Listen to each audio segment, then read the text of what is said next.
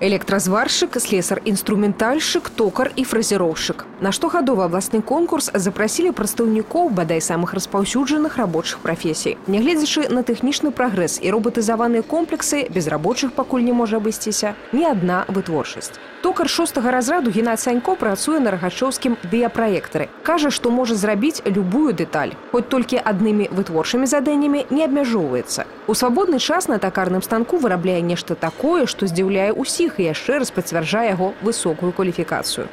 В свободное от работы время не ущерб производству. Вот я таким увлекаюсь. Это, как изначально называется, типа китайского шара. Вот китайцы вручную такое резали когда-то. Ну, токарный станок технологии не изменил, просто ускорил процессы обработки. А так процесс остался тот же самый. Суть в том, что это из цельного, цельного куска вытачивается. Есть цепь неразъемная, тоже 12-звенная, тоже методом механической обработки получена.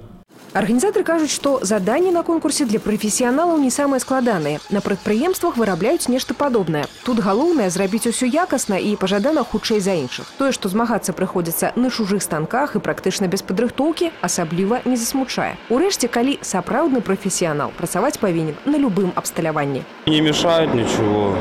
Станки, в принципе, похожие. Вот, что там, что здесь. Так что ну, деталь, в принципе, несложная. Вот. Так нормально, все хорошо. Алесь Сунцюров, Ольга Канавалова, Валерий Гапанько, телерадиокомпания «Гомель».